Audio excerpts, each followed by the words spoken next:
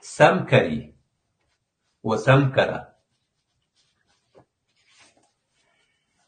مقتبسة من الكلمة الكردية المركبة سمكاري فكل هذه نرى كثير من هذه الكلمات لها جذور جذور قديمة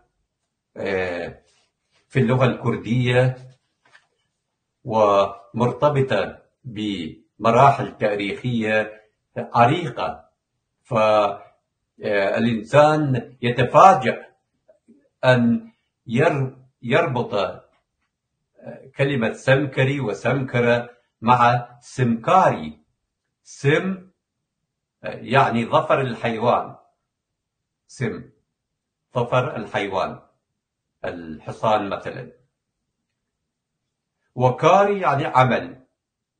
فكان فمعناه جاء متأتي من القيام بوضع نعل للرجل لرجل الحيوان لرجل البغل أو الحصان. ف في تلك الأزمنة القديمة ف هذه الكلمة بدورها متحولة إلى سمكري وسمكرة مأخوذة من كلمة سمكاري يعني عمل نعال لأرجل الحيوان.